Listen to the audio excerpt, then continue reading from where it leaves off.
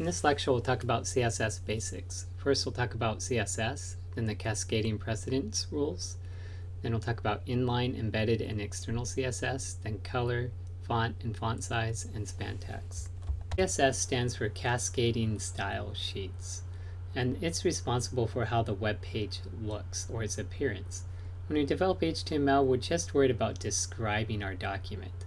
We want this to be um, a heading, we want this to be in our header, we, this should be our navigation, this should be a paragraph, this should be a list, and so on. And that's why we learn all of the tags is to describe our document. Then when we go to CSS, we get to decide how our document looks. And this is a web page called the CSS Zen Garden right here. And with this, we can change the, um, the entire look of the page. This is um, this is one HTML page with several different CSS style sheets. So this is one style sheet right here, and this is how the web page looks. And then we can click on somebody else who styled this up. Using the exact same HTML file, this is how they made their web page look right here. And so, um, as you can tell, he has an entirely different look. doesn't even look like the same web page. But if you read the text, all the text is the same from the original page. So um, we can try to click on someone else's design right here um, under the C. Here's a different one right here. And uh, maybe Orchard Beauty right here as a different CSS. Um, make them proud right here. And as you can tell, each uh, page looks entirely different, but all of the um, all the text is the same. So CSS has a lot of power to decide how a web page looks. So CSS stands for Cascading Style Sheets. And ca the cascading means the rules of precedence on who gets the final say in how an element appears. So at the lowest precedence, we have browser defaults, and at the highest precedence, we have HTML attributes. And browser defaults are what how a page should appear without any styling at all. So that's what we've seen in this class. All of our pages haven't had any uh, CSS to make them look different, so we've just been seeing the browser defaults. And we can override the browser defaults with an external style sheet. An external style sheet is stored in a separate file and linked into our page. Um, exter eh, external style sheets are really useful because it, we can uh, have the same style linked into multiple pages. The next highest precedence is embedded styles, and embedded styles are located in the head section of our page. Um, and then inline styles are the next highest precedence, and they're stored with or stored in attributes on the tags themselves. And finally, we have HTML attributes.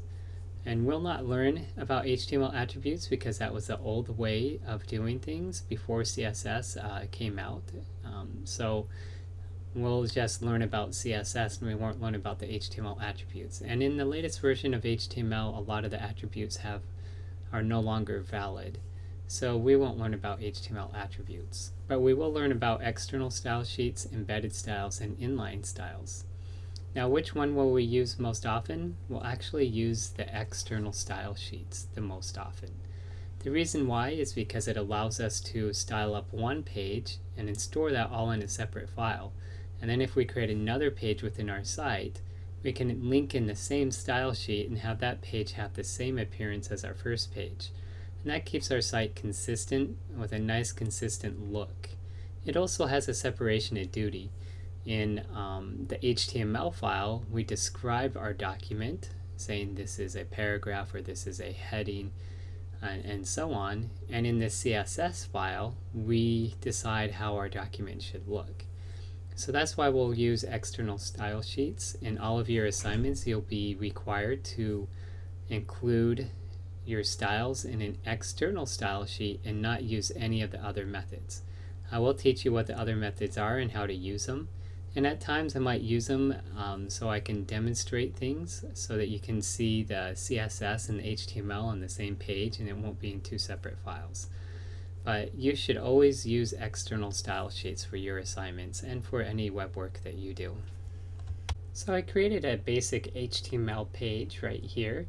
Um, I called it cssdemo.html and um, it just has the basic header, navigation, the main content area and a div tag and a footer down here with um, some links, although they're not really links to other pages, but um, pretending that these are links to other pages. And then we have a couple of paragraphs of main content. So I've uh, done a pretty good job at uh, creating this page and we can see this is how it looks um, if we have some content here. But now I want to um, start making this page look different. Now one thing I might want to do is change the color of uh, my CSS demo title, title right here. So I can do that by adding a style attribute right here in the tag. Um, and remember attributes are the, they have a name and an equals and then two quote marks with the value inside. So you can add this style attribute to any tag you see here, except for tags in the head section right here. So you can't add it to uh, here um, because these don't actually appear on the page, so there's no, doesn't make sense to try to style these up different. And no, you can't style the title. So we can add the style attribute on the body, on the header, on the h1, on the nav, on the div, on this h2, the paragraph, and so on. Um, you don't add them on to the closing tag, you add them on to the opening tag right here. So make sure you do it on the opening tag and not the closing tag. So here I can change the color of the text by putting color and then I can say blue like that. Okay, and we'll see. And now we see that the CSS demo has a blue text, a blue color right there. Um, now I can also change the color of this um, header right here by adding a style attribute to that one. And I'll make this one light blue like that. So now we have a light blue heading right there. So that's how we can style up different text. Now I told you that you can add style to the body and it, when you apply style to the body, you apply it to the entire page. So if I were to change the color in the body by adding the style tag,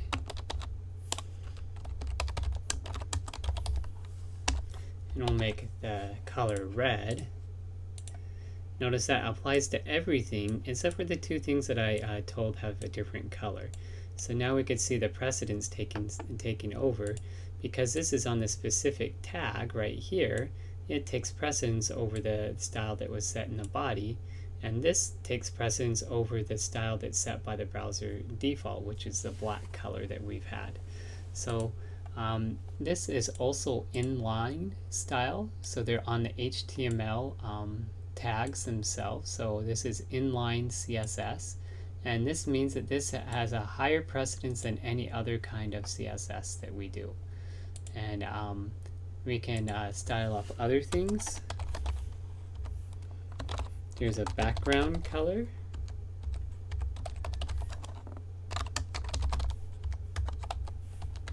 And we can make the background light gray of this paragraph. And we can see that there we can see the light gray of the paragraph back there. So this is inline CSS and we'll learn uh, more things that we can do besides change the color and the background color, but we'll just use uh, these two things to learn the basics of CSS. So one problem with inline CSS right here is what if I wanted to make all H1 tags on my page blue? Well, I'd have to find all my H1 tags, and I have one down here as well. Um, and I have an H2 tag right here. I'd have to find all of my H1 tags and add this on there. So that's a lot of repetition right there. So when we do embedded and external uh, CSS, we are really saving ourselves time because we can just declare that we want all H1 tags to be blue and then that will uh, take effect on our entire page instead of us hunting down all of the H1 tags on our page and changing them. So to do embedded CSS, we add a style tag right here, and then we end the style tag right there, and then we could put our CSS in here. But to be able to do this, since we're not putting it on the tag that we want, we need to use a selector to select the tags we want. So that will, that's the most difficult part of CSS is figuring out which selector we want to use. So when I um, use a, a, the selector, we need to say, hey, I want this uh, to apply to h1 tags. So we need to select all h1 tags and then we apply the style to it. So um, to select a tag by name, we could just put the tag name right there. So when we want all h1 tags, right here, and then we can make the color blue right here. So what we uh, put inside of here is exactly the same thing that we put inside of the quote marks right here. So we can now take this out of here and we'll save this and then we'll refresh and now we can see that this one stayed blue and then our footer content also turned blue as well whereas before it was red so um, the same thing with this body right here. We are styling it with the color red right here. We uh, should take it out of the body tag and then we can add that right here. And usually you want to put your body tag on the top because this is the style that affects your full page. So then we can go color red right there. And we shouldn't see any difference. Everything is still working the same. And now um, we have our H2 tags that we want to be um, colored in light blue so we can select all H2 tags and make the color light blue. We should uh, take that out right here as well. And we still have a light blue text. And now um, we can style up our paragraphs and make them the background color light gray. So now we can take all paragraphs and make the background color light gray. Just like that. And we refresh. And we go look at this and now all of our paragraphs have light gray background. So just before we move on I want to briefly tell you that these are curly braces right here and you get them by pressing shift and next to the P on most keyboards. There are uh, square brackets if you don't use the shift and curly braces if you do use the shift. So you have an opening curly brace right here and a closing curly brace right there. So that's how we uh, isolate all of these. And we could put more than one property that we want to style up. So I can also uh, change the font size um, and make this 12 point font right here and um, it's already a, a 12 point font but if we were to make this really big say 18 point font can see that the text got all bigger. So um, we can have more than one property inside of uh, these tags. I'll take that away so that we can fit more on our screen right there. And um, back to the question of how do we style up just these two paragraphs and say not these two paragraphs down below? Well if we look down here, we notice that um, there is a div tag surrounding these two paragraphs in our HTML. I'm going to go ahead and take this div tag out temporarily, right there. And now um, these two paragraphs up here are inside of a div tag. So we have this div tag right here with two paragraphs and this heading tag inside of it. And if I only want to style up these two paragraphs with a light uh, gray background, then I can say select all div tags and inside of the, all of the div tags select any paragraph tag you see. So we have a div tag with a paragraph tag inside of it and then this will only apply apply to that. And as you can see we no longer have the light gray background uh, around these two paragraphs down here. So that's one way that we can uh, use to select um, just certain elements of uh, certain paragraphs and, not allow other paragraphs. However, in order to do that, you saw that I had to get rid of this div tag right here. But what if I wanted that div tag right here? We shouldn't be modifying our HTML so we can style it up um, right, or at least uh, not describing our document the right way.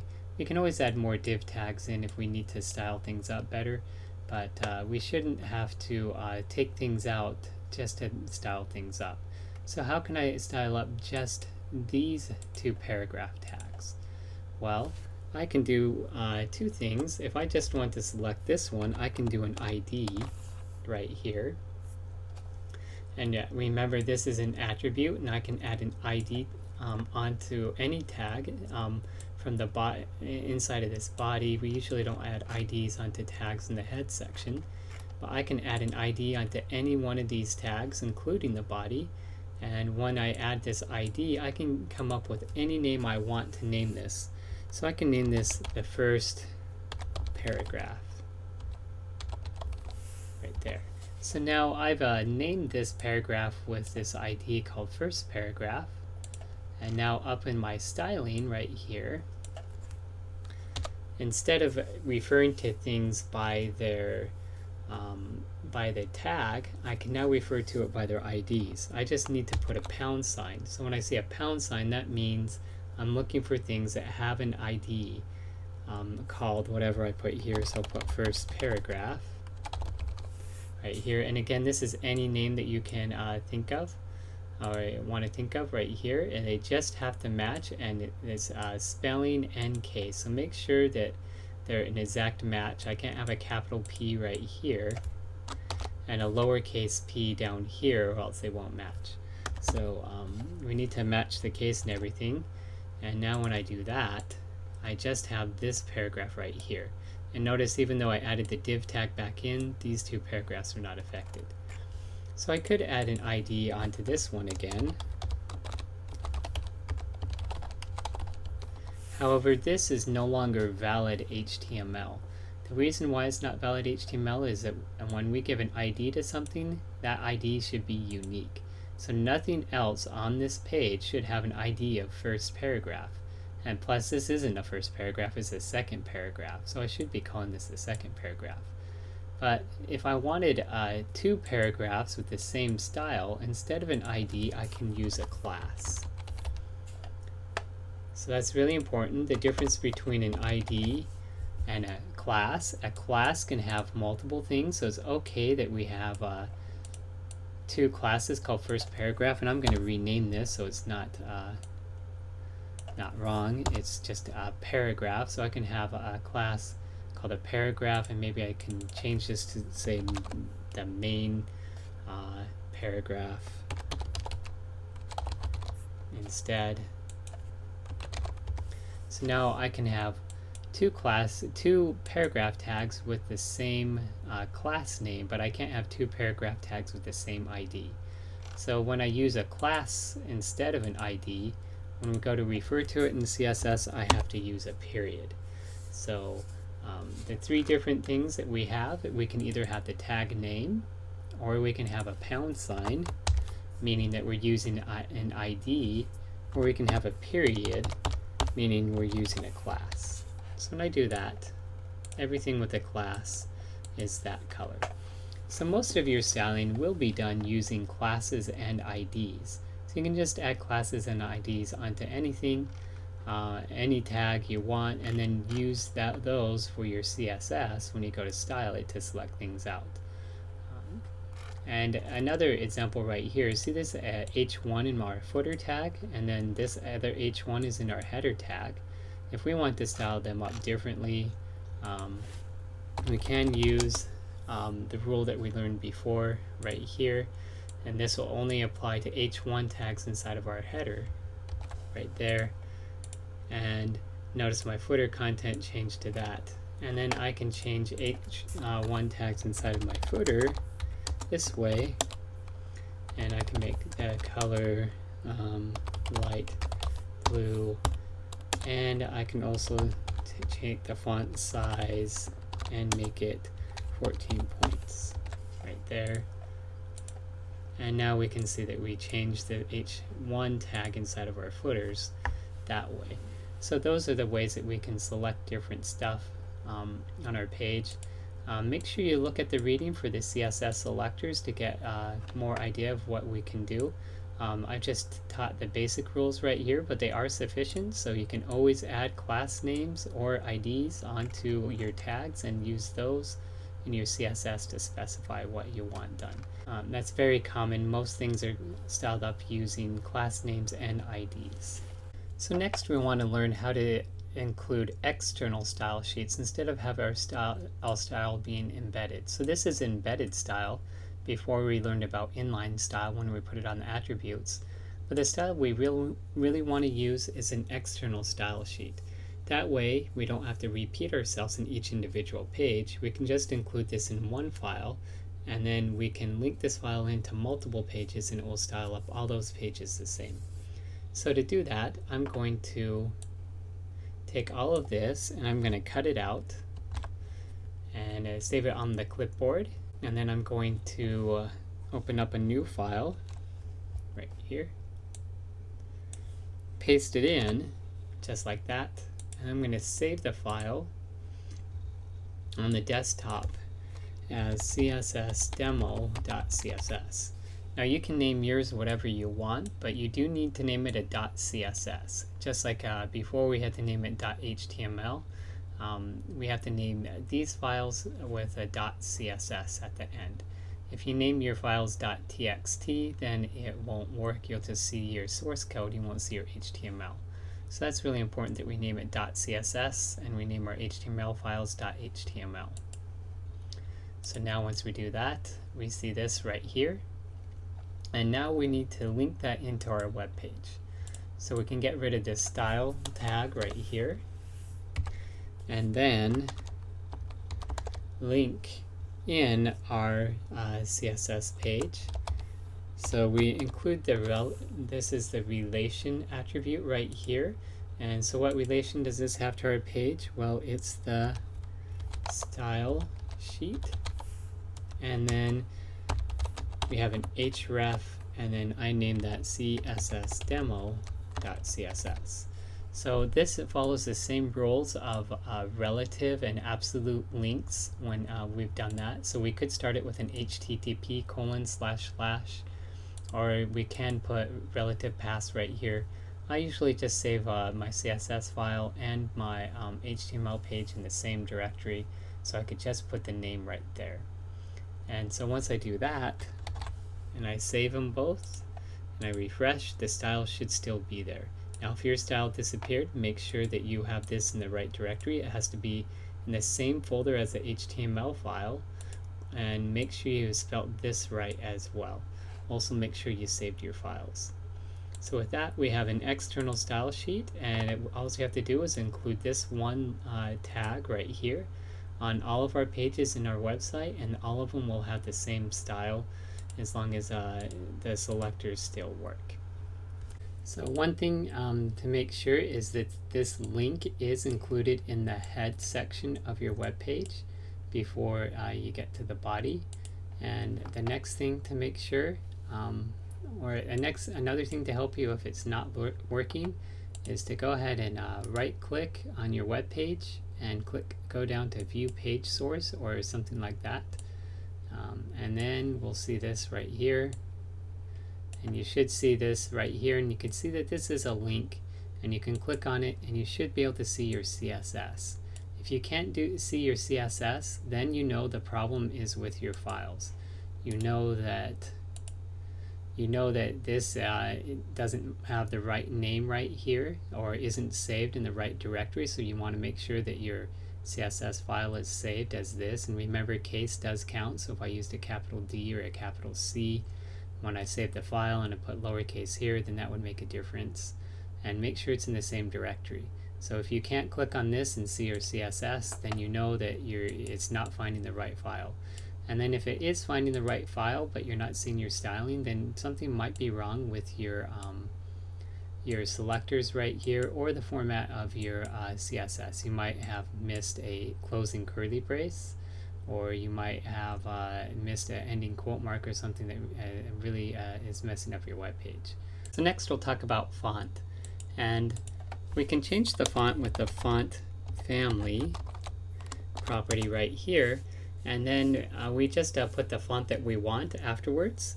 So if I want Arial, um, I could just put Arial right there. Um, now we can put it in quote marks if you want as well, that's okay.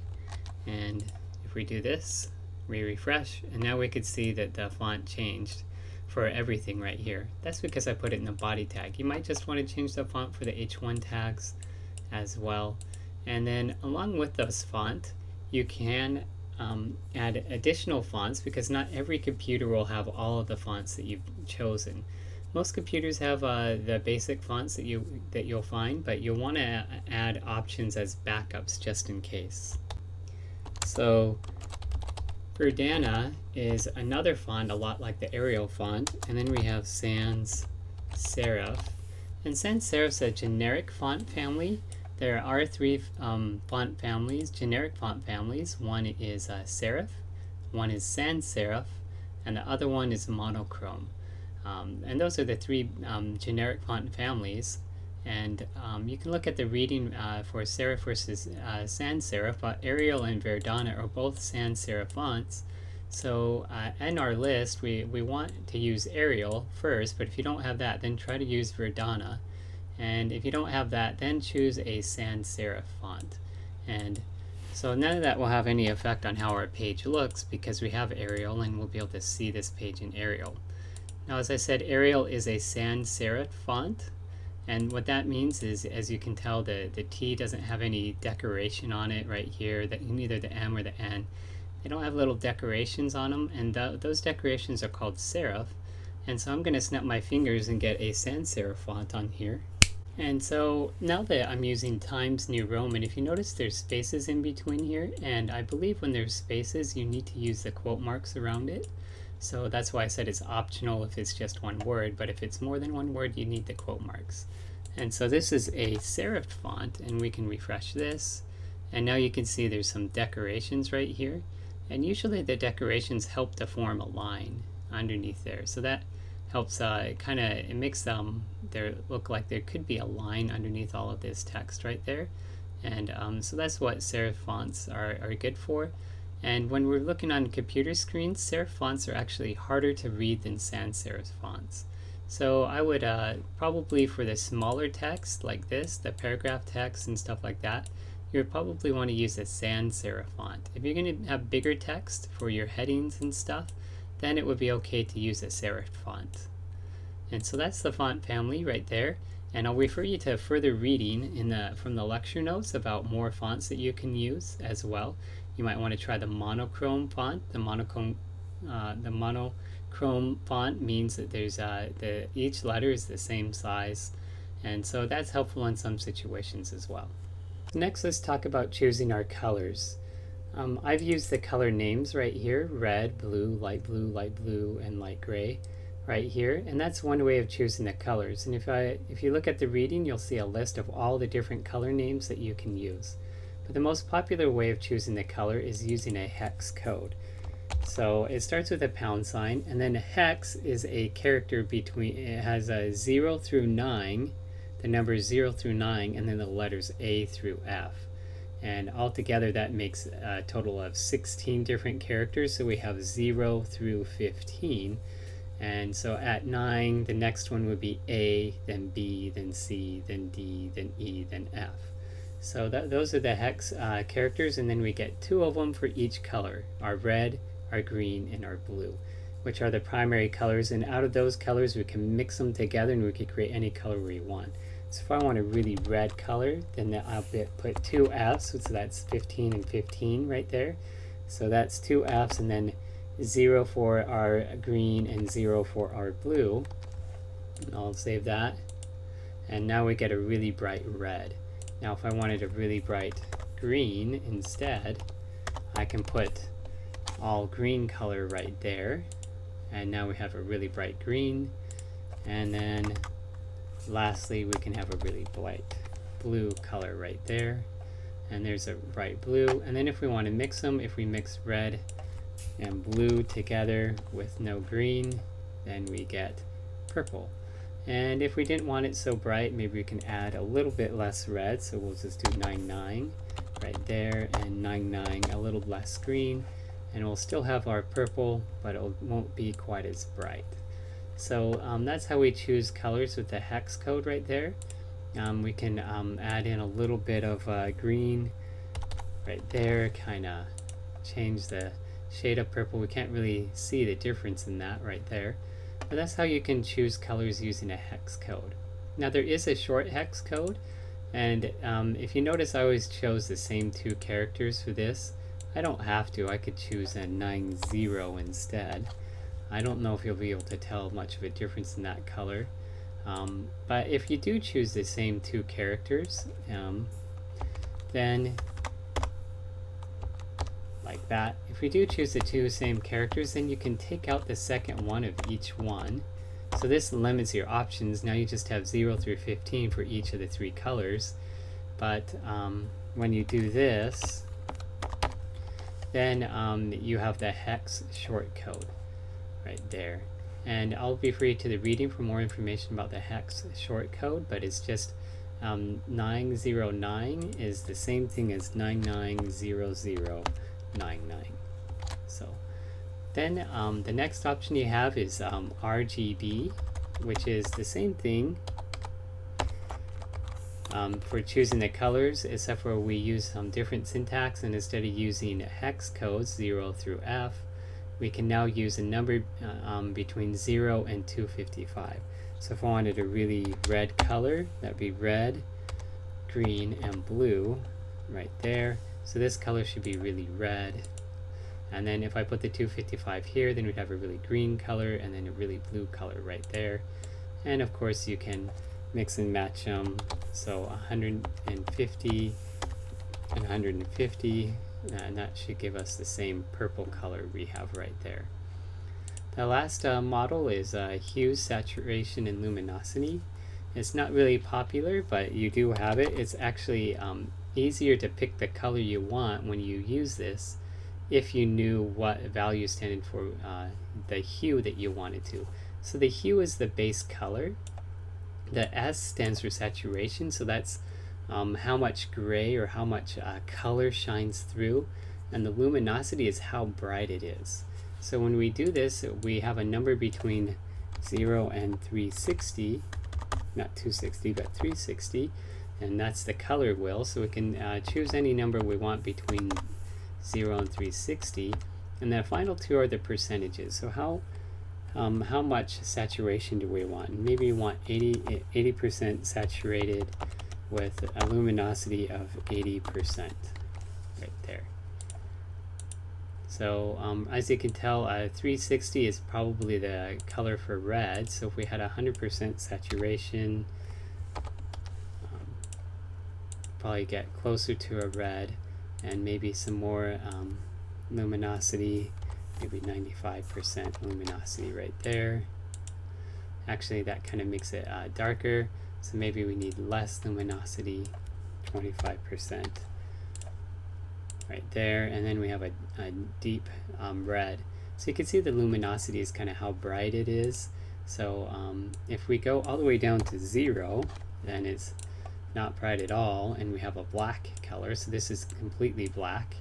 And then if we go all the way up to 100%, then we have a completely white color, and it just disappears. So because the background's white too. So that's uh, the luminosity, hue, saturation, luminosity, and I'll refer you to the reading to, for more information on that one. So your um, methods are, you can use the color name, you can use the hex code, which is the most popular, using the pound and then six hex characters, and then you have the short code, which is pound and three hex characters. Then you have the RGB and the hue, saturation, luminosity. So the last thing I'll say about color is you really want to pick um, good color schemes. And uh, there's tools on the web to help you pick good color schemes. So make sure you go to the lecture notes. Um, there are several sites that will help you pick uh, good color schemes and some sites that tell you about um, what kind of colors you might want to pick. And um, this um, is a color scheme designer, so it allows you to see different colors that work really well together. And um, you can choose different options to, to, choose different color options as well. So make sure you go to these uh, sites and play around and and please please pick good colors. You want a good high contrast between your text and the background. And if you're going to have a, a, text that you want uh, a lot of people to read, like a paragraph, it probably should be black text on a white background. Or maybe if you're look, going for another look, it should be white text on a black background. Um, white text or black text on a white background is the easiest uh, text to read and probably the safest uh, choice.